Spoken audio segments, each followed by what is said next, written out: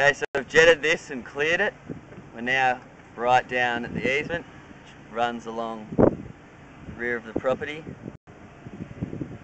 Coming back now.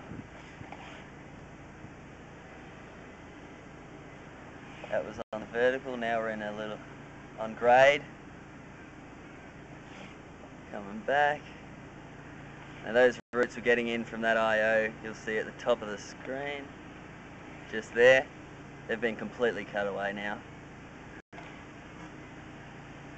So cameraing back.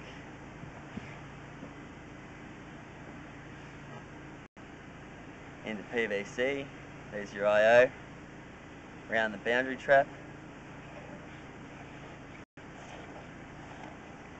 And up and out.